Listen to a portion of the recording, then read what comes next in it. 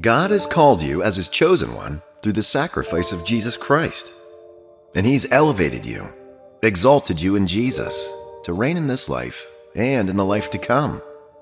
However, many of God's children are being destroyed bit by bit by the devil through the deception and the distractions of this world. In this video, I'll be sharing some of the ways the enemy uses to destroy God's chosen ones. I pray that God will use this message to bring deliverance into your life, as His Word has said that He sent out His Word and healed them. He rescued them from the grave. Psalms 107 20. God's Word in this video will bring you healing and deliverance, as your eyes will be opened, and you'll receive the grace to break free from everything the enemy's been secretly using to weaken and keep you defeated. Who are God's chosen ones? Simply put, God's chosen one is anyone who's received the saving grace of God through Jesus Christ. This is anyone who's accepted Jesus Christ as Lord and Savior, accepted the life of Christ, and has made the decision to forsake the old way of living. The Bible describes God's chosen people in Revelation 5 9. And they sang a new song, saying, You are worthy to take the scroll and to open its seals, for you were slain, and have redeemed us to God by your blood out of every tribe and tongue and people and nation. God's chosen one is that person who's experienced the greatest miracle ever the miracle that turns a sinner into a saint, that turns God's enemy into a citizen of his kingdom. Jesus said that many are called, but only a few are chosen. Everyone on earth is called to salvation. This means that the door to salvation is open to every individual on the earth today. There is no segregation. There is a place for every lost soul in God's kingdom. However, it's sad that many won't answer that call. Many won't accept Him. Only those who answer this call and turn to the Lord, turning from their old ways, accepting His saving grace, and walking into the light of His Word are His chosen ones. As long as you, a chosen one, are on earth, as much as you are the light of the world and the blessed of the Lord, a joint heir with Jesus Christ, you will also be a target of Satan's attacks. The greatest enemy of God's chosen ones is the devil, and he has one desire to destroy God's children.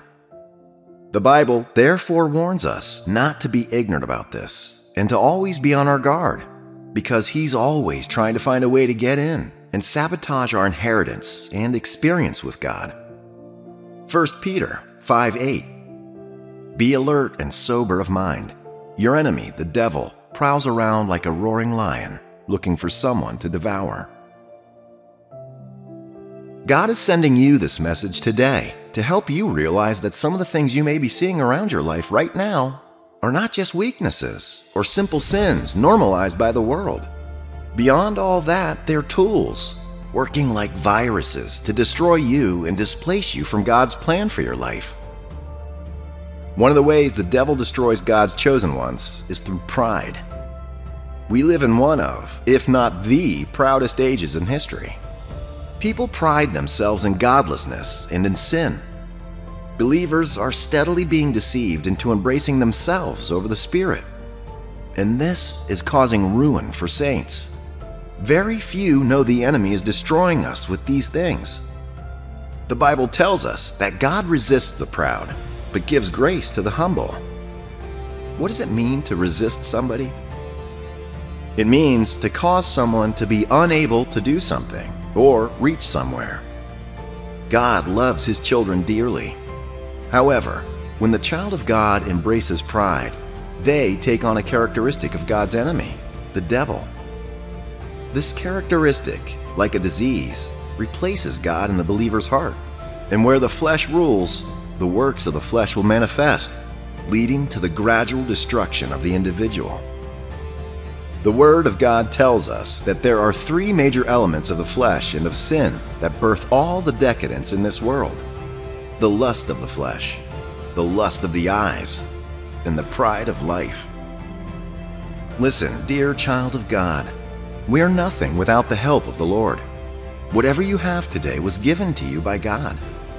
The life you have is not yours, and one day it'll be required of you. Humility is admitting your need for God. Many people are not saved today, not because they haven't heard of the gospel, but because they're too proud to surrender to the lordship of Jesus Christ. In their pride, they're attached to the world and neglect their salvation. Then there's the believer who walks in pride. When a chosen child of God walks in pride, they cannot learn or be corrected. Their own way is the best. Their own decisions are final. Nothing anyone says matters to them. They select what portions of scriptures to obey. They serve God only when convenient. They want the benefits of redemption without the responsibilities. They avoid anyone and anything that might challenge their lifestyle choices. They're easily offended when someone points out something they're not getting right, and they find a way to justify their wrong every time. When you notice that you're manifesting these attributes, the enemy has planted pride in your heart and has set you on the path to destruction. The Bible confirms this in Proverbs 16:18. Pride goes before destruction, a haughty spirit before a fall. God wants you to be confident in His ability in you, but not overconfident in yourself, in your own might, or in your own ability without Him. You see, overconfidence in oneself leads to defeat. The Bible says that by strength no one prevails, and not by power, not by might, but by my Spirit, says the Lord. It's important that you don't lose divine direction because you're too proud to listen and learn. Do not refuse God's help because you're too proud to admit you need Him. Sometimes pride manifests itself to look like humility. But you see, God knows our hearts. He knows what you're doing and the motives behind your actions. And this is the work of the devil. Pride sent the devil out of heaven and is still sending many believers away from a relationship with God. Ask the Lord to purge your heart today and remove every element of pride in yourself. Genuinely let Him know that the only thing you want to boast about is Him and nothing else. Jeremiah 9 24. But let the one who boasts boast about this that they have the understanding to know me, that I am the Lord who exercises kindness, justice, and righteousness on earth. For in these I delight, declares the Lord. Secondly, Another way the devil destroys God's chosen ones is through secret sins, especially lust and sexual sins. Most believers shy away from these issues because they're afraid to confront themselves. Some have been deceived to believe that there is no way out, and this is normal, while many others even settle and enjoy them. However, the Bible tells us that there is forgiveness and deliverance for those who turn away from their evil ways and follow the Lord. It's one thing to profess Christ, and it's another thing to try and walk in the life of Christ. Many believers profess godliness, but live in denial of God's power. They're still under the dominion of sin. And the Bible has said, Sin shall not have dominion over you. Why? Because we've died and been resurrected with Christ Jesus. We no longer are slaves to sin, because we've been freed from its power through death in Christ. Romans 6 6 7. For we know that our old self was crucified with him, so that the body ruled by sin might be done away with. That we should no longer be slaves to sin, because anyone who has died has been set free from sin. God does not want you to be a slave. This is the whole idea of the sacrifice of Jesus Christ to set us free from the power of the devil let me make it clear. It is a sin to have a sexual relationship with someone who's not your husband or wife. It's a sin to do so before and after you're married. Apostle Paul encouraged that if you're unmarried and feel strong sexual urges towards your partner, you should marry them so that you do not give room to fornication. When you engage in sexual activity, you unite yourself in spirit with the individual. When this happens, you open yourself up to another spirit besides the Spirit of God. When you begin to invite other spirits into your life, you make your body a center for demonic influences and confusion. Yes, a child of God cannot be possessed, but they can be influenced and manipulated by a demonic spirit. This is how addictions and sexual bondages happen. Then it seems like you can't do without engaging in these sins. You may not be possessed, however, you have silenced the Spirit of God because now you have invited numerous other spirits into your life who bring confusion, guilt, and shame. Your body is the temple of the Lord, and He wants you to always keep it free from lust and sexual sins. You must remember that your purity matters, both here and for eternity. Do not get your spiritual garments stained for a few moments of pleasure, losing even greater things in the process. You must ask the Lord for help, confess that sin to Him, and ask Him to break its yoke from your life. Sexual sin is a very strong weapon in the devil's arsenal. That's why you see that he uses movies, music, the internet, and fashion to come up with more and more ways to suggest and implant sexual ideas.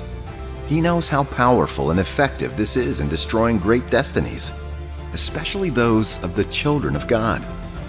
Knowing this, the Bible warns us in Proverbs 4:23, "Above all else, guard your heart, for everything you do flows from it." Guard your heart, dear child of God. Keep your eyes open. Be careful with what you listen to, what you watch, what you read, and all the information you allow into your space. These things may come to corrupt you, or make you a corruption to another believer. Once we become aware of Satan's works, we can overcome them more easily. This is the reason for this video, to show you how the devil destroys God's chosen ones. Do you see any of these in your life? Then you need to turn to the Lord and ask for His help. Ask Him for the grace to guard your heart against every element of pride and sexual sin. Ask Him for the grace to discipline yourself and keep your heart and body under the control of the Holy Spirit. When we ask and trust God to guide our actions as we follow Him, we are sure that we will be found standing in the end. Do you know that one of the most common ways the devil destroys Christians today is through sexual immorality? God's blessing is on healthy sexual activity because it establishes unity in the home, strengthens the bond of love between the couple, and solidifies the foundation of the home where God can be worshiped. However, the enemy has taken this same blessing and turned it into a weapon to destroy the lives of God's chosen people. You see, whenever the child of God has sex or any sexual activity outside the marriage, it is called the sin of fornication, sexual immorality, or adultery. The devil uses these sins as gateways to come into your life and destroy you. We should not be ignorant of his devices, but instead know them and stand against them. 2 Corinthians chapter 2 verse 11. In order that Satan might not outwit us, for we are not unaware of his schemes. You see, why is this matter very serious? God's word tells us that when we become children of God, we become one with Jesus in spirit, and not only so, we become a part of his body. Hence, whatever you do, it is implied that a part of Christ is doing it. Is that sending a message to you now? No wonder Paul, writing to the church of Corinth, said it was unspeakable to take his body, which was now a member or part of Christ's body, and join it in sex with a prostitute. 1 Corinthians chapter 6 verse 16. Do you not know that your bodies are members of Christ himself? Shall I then take the members of Christ and unite them with a prostitute? Never. If you will doubt anything in this life, dear saint, please never doubt the Word of God as found in the Bible. Everyone may come with their own opinion of the written text and what they think is wrong with it, and why their own perspective may be better, but do not fall for it. There is life giving truth within the pages of the Bible, and it's available to everyone who opens their hearts up to it. If you want to see faults, Satan will show you faults. But if you trust the Spirit of the Word to show you, you will find life in it. I'm saying this because of the current subject of discussion. Many people are going to come to you with one excuse or reason why there is nothing wrong, not just with sexual immorality as long as it is consensual, but with many other things, the Bible warns us against it. You must know that such person, no matter how great he or she is, is not speaking by the Spirit of God. The Bible clearly states in 1 Corinthians chapter 6 verse 9, "Or do you not know that wrongdoers will not inherit the kingdom of God? Do not be deceived. Neither the sexually immoral, nor idolaters, nor adulterers, nor men who have sex with men." Before you say this was Paul and not God speaking. We see the same thing in the coming judgment, as revealed clearly by God to John on the island of Patmos. Revelation chapter 21, verse 8. But the cowardly, the unbelieving, the vile, the murderers, the sexually immoral, those who practice magic arts, the idolaters, and all liars, they will be consigned to the fiery lake of burning sulfur. This is the second death. Our message is targeted as two categories of people those who are sexually active and those who are about to give in to the temptation to engage sexually. If you are married or yet to be married, and you are engaging in sexual intercourse with one who is not your spouse, you are living in sin and on your way to hell if you do not repent and stop it. If you're thinking about it, or secretly practicing it through graphic novels or pornography, you are already opening yourself up and setting yourself up for destruction by the enemy. The mystery of sex is that whomever you engage with sexually, you become one with them. This is beyond the physical joining that occurs, but also the spiritual. Biologically, we learn that there is an exchange of bodily fluids during sex. But what most of us do not know is that there is also exchange of spiritual content. People talk about sexually transmitted diseases alone and use that to warn against abstinence. And they are right, but that is only half the truth. You see, you can't blame them because many of them can't explain or understand the spiritual aspect of it. Therefore, the world, as they're prone to, try to go around such instructions to satisfy the flesh by producing and recommending contraceptives and other protections. This may work for some diseases or pregnancy, but there is no contraceptive on earth to protect you from the exchange of spirits during sex. This is why the best thing to do is steer clear off it. This message is specifically for believers because of their position in Christ. The unbeliever has it worse because they are spiritually dead already, and sexual immorality is a way of life. They already need Christ whether they are sexually immoral or not. It makes no difference because without Christ in their lives, they are on their way to hell too. However, for the saint, this is different. Satan already rules in the life of the unbeliever, but Christ rules in the life of the saint. In order for Satan to have his way in your life, he introduces things to allow you to open yourself to him. When you fall into these temptations of the devil, he uses that as a means to attack your conscience, your destiny, and some of God's blessings in your life. There is a reason he is called the accuser of the brethren. He is the one that reminds you continually of the sin you have committed and why you are no longer wanted by God or good enough to be saved. His aim is to keep you under in defeat until you stop following Christ and He becomes your Lord instead.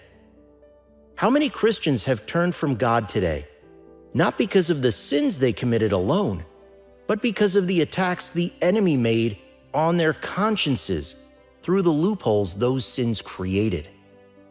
You must be careful, dear saint. If you have been living in sexual sin before now, don't let another moment pass before you stop it. Consider this as God's sign to do so. Or maybe you have been involved and are trusting God to stop it because you don't know how. Make sure you pay attention till the end as well. This is also a message for you. We have prayerfully put this material together, trusting God to help everyone who listens experience God's saving power to break free from sexual immorality. Sexual sins are destructive weapons the enemy uses against Christians because he knows that when a believer gives his or her body over to a partner who they are not married to, they pollute their bodies. Why is this a serious sin? You see, apart from our bodies being a part of Christ's body, which is supposed to be holy and pure, when we become born again, our bodies become God's dwelling place through his Holy Spirit. 1 Corinthians chapter 6, 19 through 20. Do you not know that your bodies are temples of the Holy Spirit, who is in you, whom you have received from God? You are not your own. You were bought at a price. Therefore, honor God with your bodies. You no longer own yourself, my friend. God bought you already. With what? With the blood of his Son, Jesus. When Jesus was dying on that cross, he was doing so, giving his life in exchange for you. Why? Because God loves you that much. The only thing he asks of you now is to live for him. He died for you, and now he wants you to live for him. He wants you to allow his life find expression through you. Now, through the Holy Spirit, the entire Godhead lives inside you. A temple is called a sacred place simply because it is dedicated to a deity. This is the same for all religions. Whether it is built with wood, clay, or iron. It is an ordinary building until it is dedicated to a deity. The moment it is consecrated to any deity, that place becomes holy and is guided by different laws that honor that deity. Whatever you do contrary to those laws will be considered blasphemy against that deity and a desecration of its temple. This is the same with our bodies now. You see, in the Old Testament, God promised that one day he would no longer fill the temple, built by the hands of anyone, but that he would begin to live in the hearts of humans. That prophecy has come to pass in our days. Now God lives in you and in anyone who has surrendered their hearts to Jesus Christ. And from that moment onwards, your body is his temple. You may not know this, but you are a walking temple. However, the question is who occupies your temple now? Have you desecrated your temple so much that there are demons all around it? Or have you opened its doors so that demons have gained access and filled it with all sorts of darkness? Your body is God's temple, my friend. When you give it to sexual immorality, you are harming and polluting it, allowing demons in. And when demons have a foothold in your life, they will oppress you destroying and corrupting whatever their hands can lay hold on. Do not give the enemy this room in your life.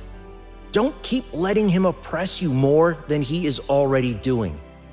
I'm not saying that it is easy to live pure and holy, not especially in the world that not only approves of it, but also promotes it massively. No matter the sector of industry, there is a degree of sexual engagement being promoted. We see them in movies, music, literature, fashion, media, internet, and everywhere else. Do you not know that no one is exempted now? Like while growing up, there were things we weren't allowed to watch, and the censorship was decent until recent years. Now, even kids' shows have a certain degree or hints of sexual activities discreetly chipped in. Only sensitive people are able to notice it and caution their kids and loved ones from watching them. Think of how much sexual education teenagers are getting now. More of these are geared towards their engagement than ever their abstinence.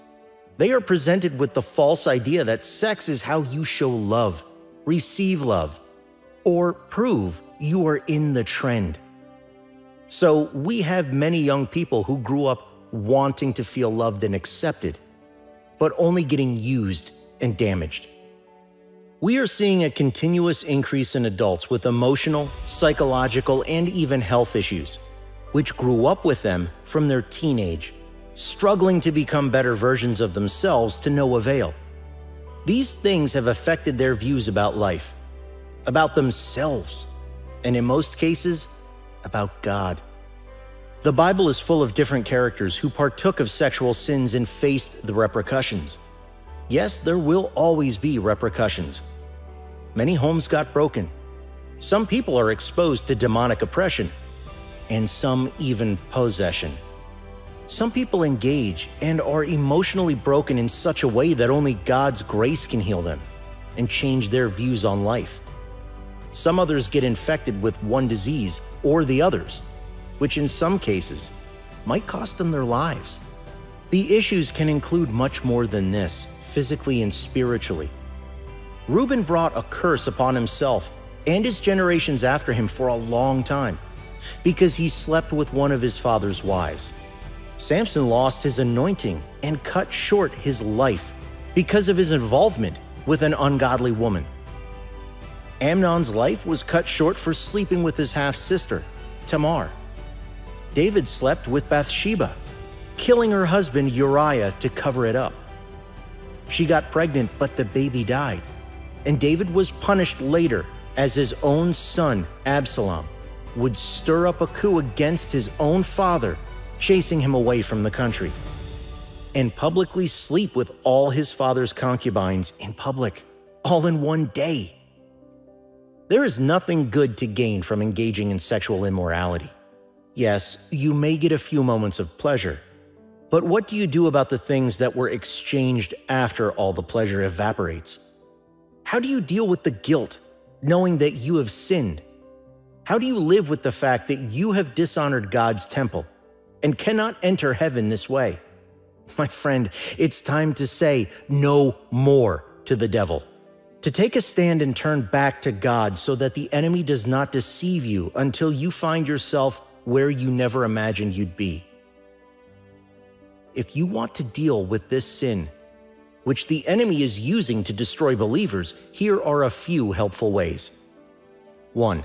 Acknowledge that you are in sin and then turn to God in repentance.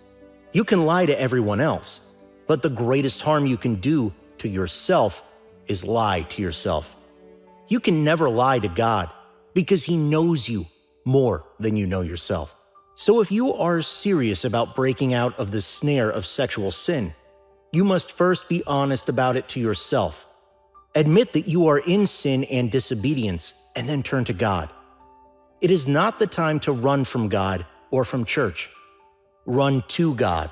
He wants you because He is the only one who can fix you. The Bible says He is faithful and just to forgive all who come to Him, confessing their sins and trusting Him to help them overcome it. As you come to God, ask Him to set you free from that spirit of sexual immorality and purge your life of every deposit from your past. 2. Start feeding yourself with the truth in God's Word. Our lives are defined by whatever we believe about ourselves. If you listen long enough that you are a sexual animal who can do nothing about your urges, you will soon believe that is who you are. However, the Bible already says that you are a new creature, and you are no longer a slave of sin. Therefore, sin shall no longer rule over you, as it did when you weren't saved. This kind of discovery empowers you to learn how to accept who you are and stand against anything that wants to change that. The more you feed on and speak God's word over yourself, you purge off the old and take on the new identity with new ability to resist the devil while standing in what God says. 3. Disengage and avoid triggers. Triggers are things that takes your mind back to your sin, not to make you guilty, but to tempt you again. This is where the real battle is.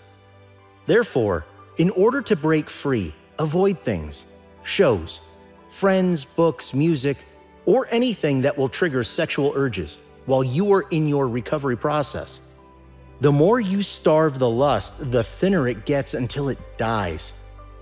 This is not and never will be an overnight thing, but through consistency in God's grace, you can get there.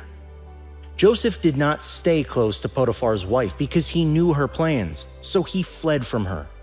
You are not to condone sexual sin around you. In fact, it is the only sin you are asked to run from in the Bible. 4. Commit to a prayer life.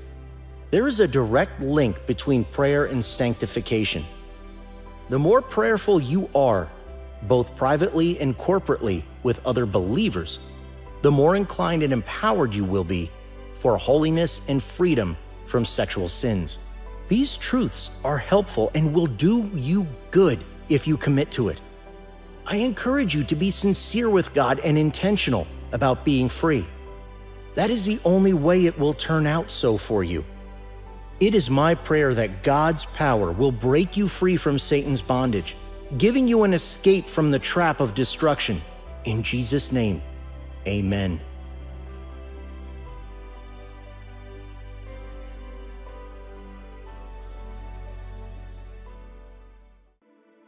Have you ever found yourself in the midst of a battle, feeling overwhelmed and uncertain of the outcome?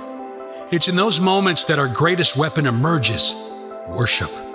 Yes, worship has the power to make the enemy flee faster than anything else. When we lift up praise and gratitude to heaven, even in the midst of our hardest trials, chains are broken and victory is birthed. Let me share with you a story of two men named Paul and Silas. They found themselves in a dark and gloomy prison cell for preaching the gospel. Now, most people would complain and despair in such a situation, but not Paul and Silas. They understood the power of worship. So instead of wallowing in self pity, they chose to praise God. They lifted their voices in songs of adoration and gratitude, filling that prison cell with the sweet fragrance of worship. And guess what happened? Chains were broken and their prison doors swung wide open. Their worship became a catalyst for miracles. When we choose to worship God in the midst of our battles, something supernatural takes place. God takes notice, and He moves on our behalf. He fights our battles and turns them into blessings. I know it's not always easy to worship when the storms of life are raging around us. Remember the story of Jehoshaphat. When faced with rumors of war and a vast army that threatened to overwhelm him, he didn't rely on his own strategies and plans. Instead, he turned to Jehovah Nissi, the God of victory. He understood that his battles were not his alone to fight. So if you find yourself in the midst of a battle today, I encourage you to follow in the footsteps of Jehoshaphat. Seek God's face and worship him with all your heart. Don't wait for the victory to come before you praise him. Praise him now in the midst of the storm. As you do, watch how God moves on your behalf. You may be wondering, but how does worship turn battles into blessings? Well, when we worship, our focus shifts from the magnitude of our problems to the greatness of our God. We declare His sovereignty over our circumstances. We remind ourselves that He is faithful and that He has the power to turn our battles into blessings. And here's the beautiful truth God is not limited by the size of your battle. Just as Jehoshaphat and his men found an abundance of plunder after their victory, God can turn your battles into blessings that overflow, but it starts with your willingness to worship Him, to surrender your battles into His capable hands. So I encourage you today to lift up your voice in worship. Let your praise be a weapon that scatters the enemy and invites the presence of God into your situation. Trust that He is working behind the scenes, aligning everything for your good. Your battles may be fierce, but God is greater and He will take those battles and turn them into blessings beyond your wildest dreams. Remember, you are not alone in this journey. God is with you every step of the way, so worship Him with all your heart and watch as He transforms your battles into blessings. In the depths of my despair, I never imagined that I would emerge stronger. Life had dealt me blow after blow, and I thought I had reached my breaking point, but little did I know. God was molding my spirit preparing me for the battles that lay ahead. You see, it's not the battles themselves that concern God, it's the person we become in the midst of the fight. He wants us to grasp the truth that we are already victorious, fighting from a position of triumph. It's awe inspiring to hear the stories of those who have conquered adversity. Their words echo through time, reminding us that someone has walked the path we're currently treading. And if they emerge victorious, then so can we. There's an indescribable comfort in knowing that our struggles today will become the source of strength for someone else's tomorrow. Your battles, dear brothers and sisters in Christ, are not in vain. They are a testimony in the making, a powerful narrative of transformation waiting to unfold. Believe with all your heart that your battles will be transformed into blessings. Your victory is not a mere possibility, it is secure in the loving embrace of Christ Jesus. He is the refuge where you can find solace amidst life's relentless storms. Lean on Him, for He is the helper of the helpless the defender of the weak. Trust that He will fight on your behalf.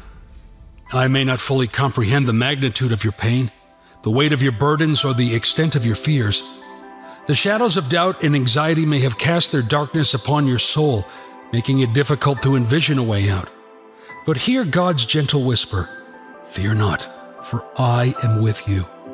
In the stillness of your heart, surrender your battles to Him Letting God fight your battles is not a sign of weakness, but rather an act of profound faith.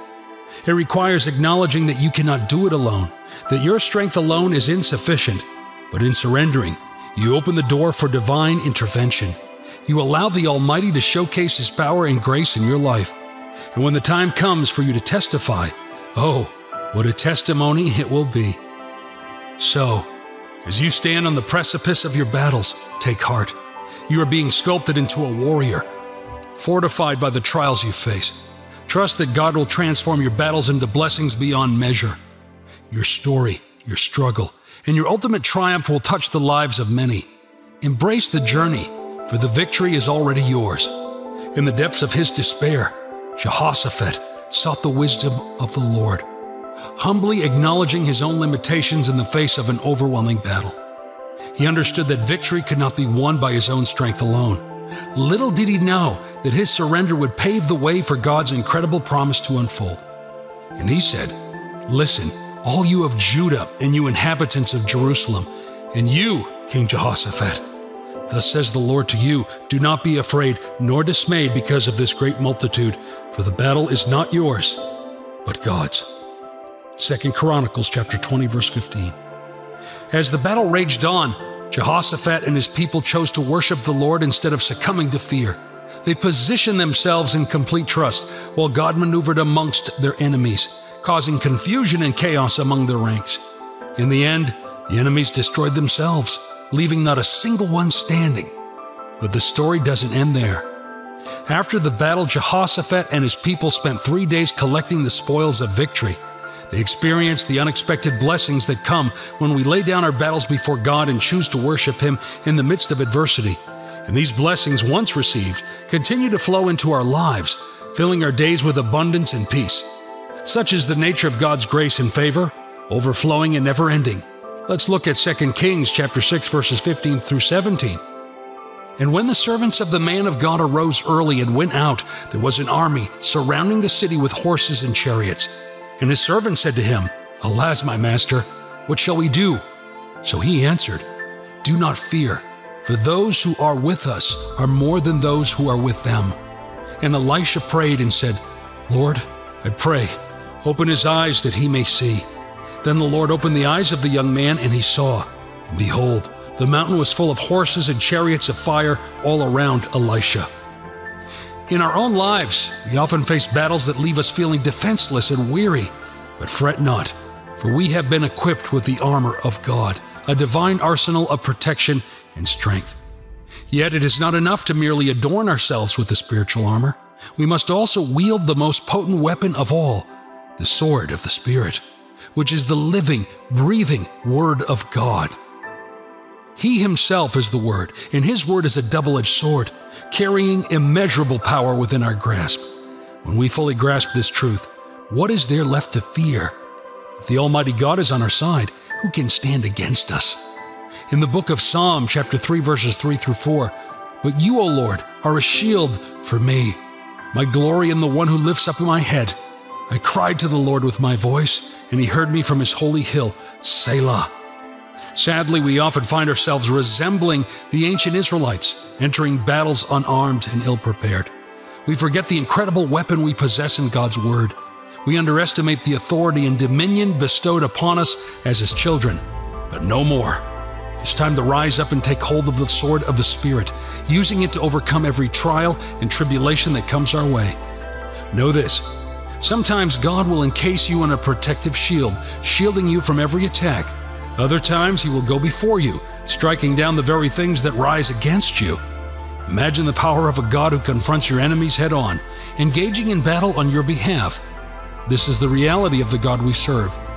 So, my dear brothers and sisters, remember this truth God will take your battles, the ones that threaten to overwhelm and consume you, and transform them into blessings beyond your wildest dreams.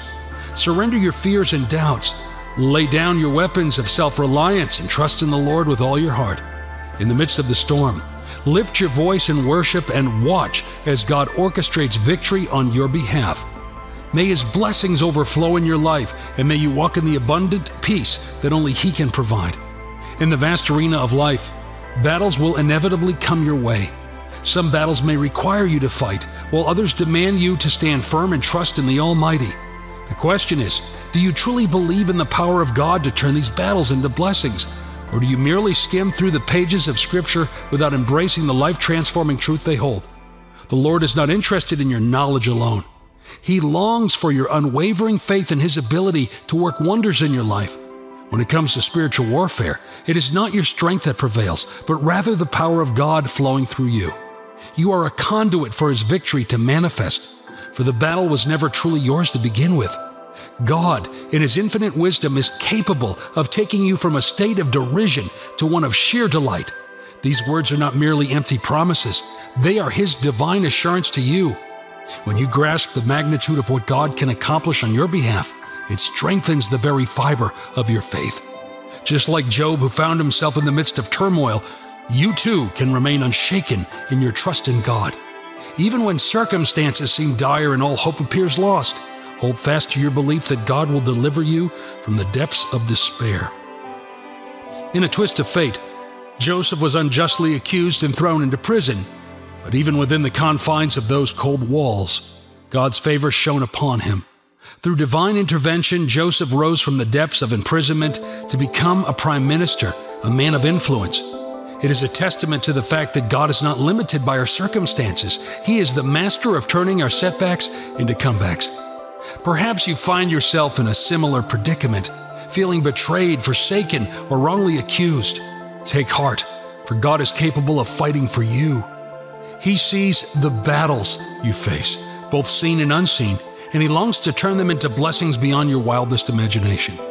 Even in the realm of your workplace, where challenges may abound, Remember this whatever it is, it's in your favor. Believe in God's miraculous intervention and watch as your blessings astound those around you. In the midst of life's storms, learn the art of being still. Though the winds may rage and the waves may crash, find solace in the knowledge that God is in control. So, my friend, let go of the anxiety that weighs you down. Release the burden of overthinking how to solve every problem. Instead, Find peace in the truth that God is sovereign and He has a perfect plan for your life. Trust in His unwavering love and watch as He transforms your battles into blessings. Remember the words of Psalm 46:10. Be still and know that I am God. Embrace the stillness, let go of your striving, and allow God to work miracles in your life. He is faithful, and He will take your battles and turn them into blessings beyond your wildest dreams. In a world filled with many voices and many spirits who want to commune with you, you have to listen when God's Spirit speaks to your heart. One of your greatest assets as a Christian is the Holy Spirit. He's the means through whom God the Father communicates with you in your spirit, either directly through the Word or through other means. Sometimes the Lord may be speaking to you but because you don't understand or know how to listen, you may think he's silent. The Bible says there are many kinds of languages in this world, and each one has meaning. Not one is useless. It's also necessary to say that even in our relationship with God, every word from God has a meaning, an instruction, a promise, and an intention from God to us. If we miss the meaning or main message when God speaks to our hearts, we miss everything He aims to work in our lives. I say this to all believers. One of the main reasons we wander and struggle is because we hardly let God lead us. And one of the most common ways God leads us, His children, is by speaking directly to our hearts. How does God do this? He speaks to our spirits through His own Spirit living within us. You see, if you're a child of God, the Holy Spirit lives inside you. God does not need to come down to communicate with you. He now lives inside you through His Spirit. Jesus was talking about the Holy Spirit with His disciples in John 16 12 to 15. I have much to say to you, more than you can now bear. But when He, the Spirit of truth, comes, He will guide you into all the truth. He will not speak on His own. He will speak only what He hears, and He will tell you what is yet to come. He will glorify me, because it is from me that He will receive what He will make known to you. All that belongs to the Father is mine. That is why I said, The Spirit will receive from me what He will make known to you. Through the Holy Spirit, the Lord brings light into what the Bible says. Through the Holy Spirit, the Lord will give you instruction regarding your decisions and how you ought to go about them.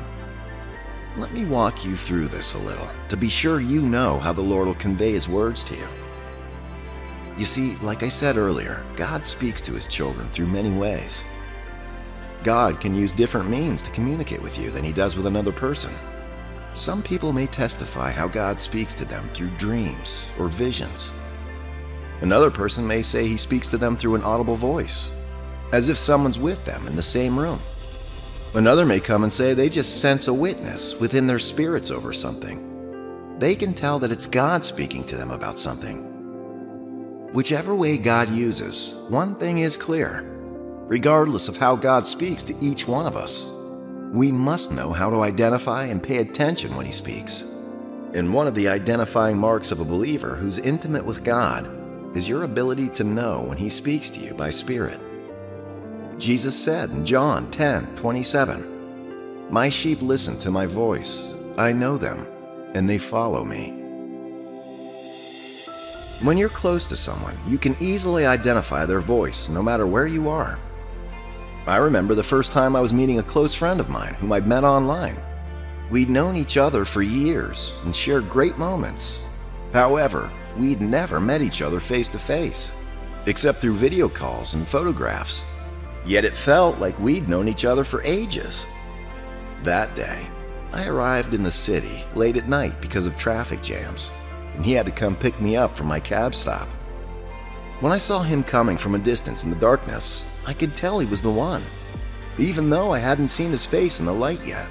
All I could see was the silhouette of his image, and that was enough. That is the true power of intimacy. If you're close to someone, you can recognize their voice and presence, even if you can't see them. Do you know that you can get that intimate with God? In fact, do you know that God wants you to be that intimate with Him? He wants you to know His presence and identify His voice. He wants you to know how to differentiate between the voices of the world, the voice of the devil, and the voice of His Spirit in your heart. You may not know this, but the devil also tries to speak to your heart just like God does. And this is exactly why you must listen and know to obey God when God's Spirit is speaking to your heart. If you can't, you'll fall into many troubles. Jesus said in John 10 3 to 5, The gatekeeper opens the gate for him, and the sheep listen to his voice. He calls his own sheep by name and leads them out. When he has brought out all his own, he goes on ahead of them, and his sheep follow him because they know his voice. But they will never follow a stranger. In fact, they will run away from him because they do not recognize a stranger's voice. In these verses, Jesus was confirming that there will be voices of strangers who try to communicate with you. But if you're his follower, you won't pay attention to those voices. but rather run away from them. When God's Spirit speaks to you, He communicates with your heart. He doesn't speak to your physical ears. I believe that one reason most believers struggle to hear God is because we want to hear Him with our physical ears.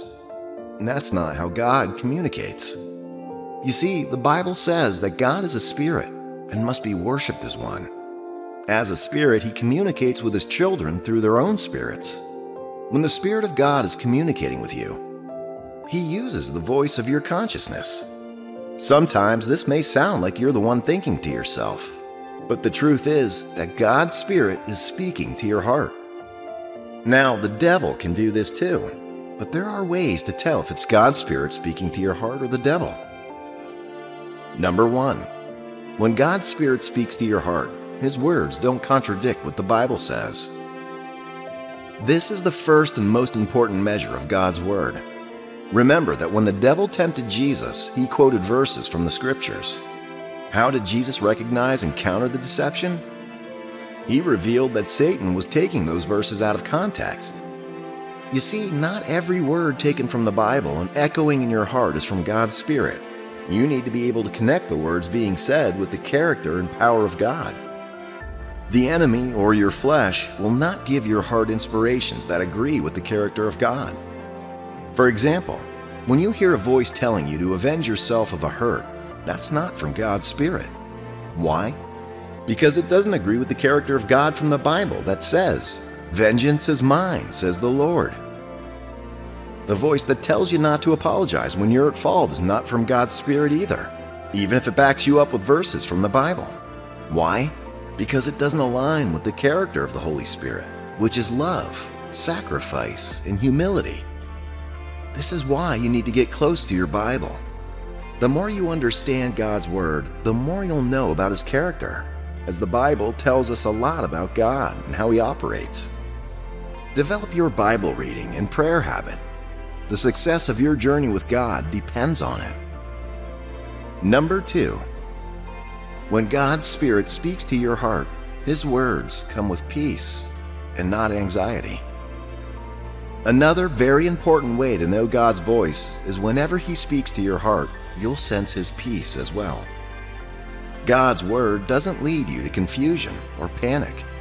Instead, like a gentle wind, it blows away anxiety and gives you clarity and comfort, no matter the situation involved. The psalmist wrote in Psalm 85 8, I will listen to what God the Lord says. He promises peace to his people, his faithful servants, but let them not turn to folly. What God may be instructing you to do may seem difficult or even impossible to the human mind. Yet in your heart, you'll have an assurance of peace. The Bible calls it a peace that passes all understanding. So, how do you listen to God's Spirit when He speaks to your heart? 1. Silence the outside noise. The world is full of many voices, so in order for you to create an atmosphere around yourself where you can easily listen to God's voice, you need to learn to shut out the noise. How do you do this? Give attention to the things that add more value to your spiritual life, instead of paying attention to the carnal things. The more you feed your spirit, the stronger it gets. And the stronger your spiritual sensitivity becomes, the more your heart can hear God without confusion or mix ups with other voices. You can also silence the noise by speaking the Word of God out loud over yourself habitually. Make it a habit to always speak God's Word and promises over yourself. You're more likely to hear God speak to your heart through the words you've been speaking over yourself, just like the devil uses the negativity in your mind to speak to you too. 2. Spend time in prayer, especially time praying in tongues. The more time you spend praying in tongues, the more you subdue your mind. When you pray in tongues, your mind isn't participating, but your spirit is. At that time, God can speak to you, and you'll hear. This is one of the reasons the devil is constantly trying to influence your prayer life negatively. Prayer is not just dashing in and dashing out. It's communicating with God, talking to and listening to God speak. During prayer, you can become silent in meditation, especially when you're fasting. Most times, we underestimate the power of fasting. We think we should only fast when we have a big problem or need power. But the truth is that fasting is meant to help you hear what God's saying and give your spirit more strength over the flesh. If you're going to succeed in your Christian journey and in life as a whole, dear saint, then you need to take these words to heart. You have to start listening so that when God's Spirit speaks to your heart, you'll hear and you'll obey. Have you ever felt like you're stuck in a valley of dry bones? Like your dreams, relationships, and plans are all dried up and abandoned? Let me tell you that God is testing you because He's preparing you for something better. You see, God has a plan for each and every one of us. He has written a destiny over our lives and put dreams in our hearts. But the path to fulfillment of that dream is never easy.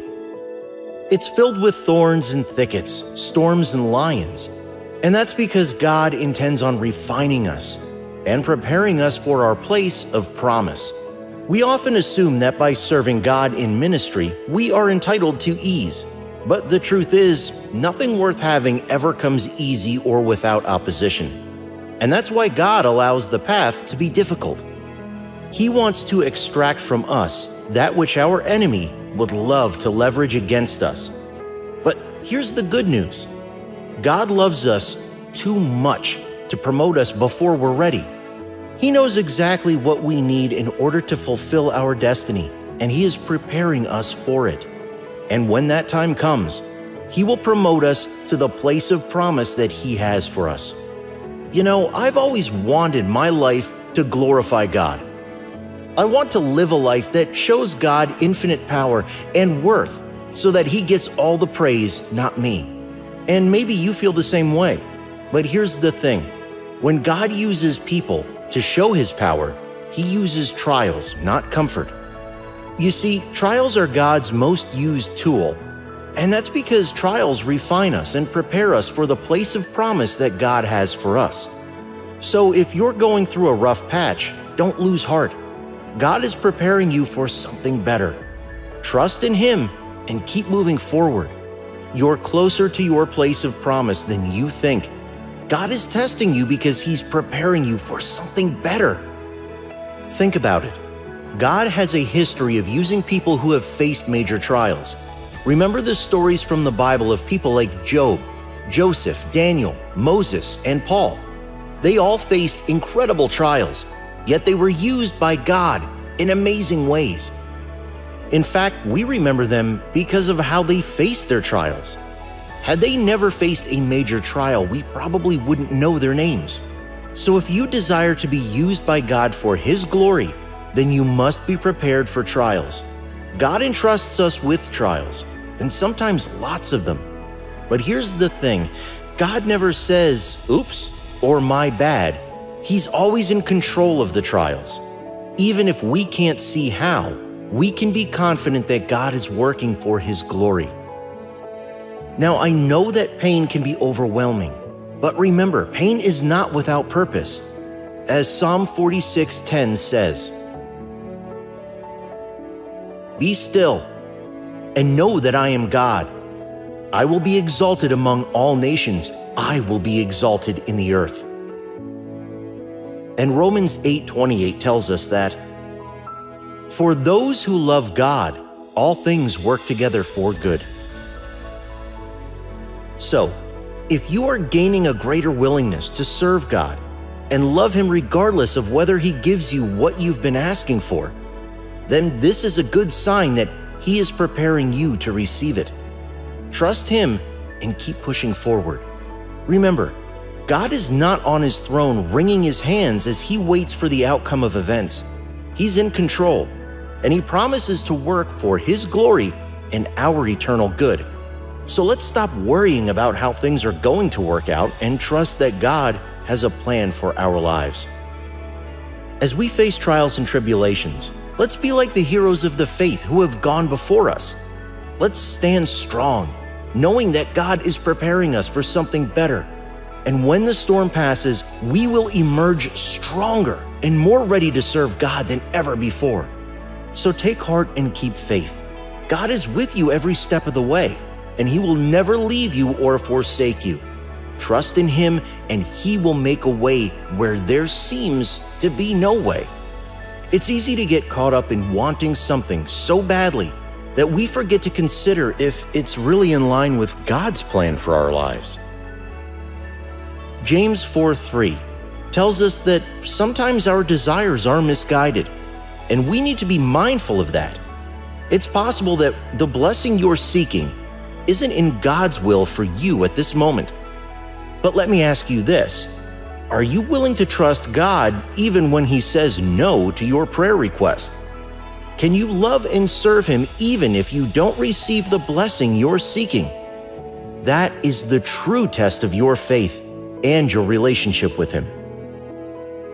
In Mark 7 26 through 30, we see an example of a woman who was seeking a blessing from her daughter. Jesus initially seemed to rebuff her request, but she persisted and showed that her heart was truly in the right place. She was seeking the blessing for the glory of God, not just for her own selfish desires. So if you're feeling like God is testing you and withholding blessings, take heart. It's possible that He's preparing you for something even better than what you've been asking for. Trust in Him and seek His will above your own desires. Remember, He knows what's best for us, even when we don't understand it in the moment. Let us keep our faith strong and our hearts focused on God's plan for us. He loves us and wants the best for us, even if it means testing us along the way. Let's embrace the journey and trust His guidance, knowing that He is preparing us for something greater than we could ever imagine. I want to encourage you today that just like Jesus said no to the woman in the Bible, sometimes God says no to us so that we can grow in our faith and be prepared for something better. God wants to bless us, but He also wants us to have the faith to receive those blessings. Sometimes that means going through a period of testing where we have to trust God even when it seems like He's not answering our prayers. It's in those moments when our true character is revealed. Will we run from God or will we continue to trust Him even when we don't get what we want? God is not trying to withhold blessings from us, but He wants us to be prepared to receive them. But here's the good news just because God says no at first doesn't mean he won't eventually say yes.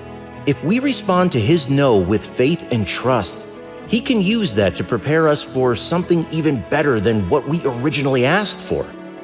Sometimes we have to go through a valley of decision where our dreams and desires are tested, but it's in those valleys that we can grow in our faith and become the people God wants us to be.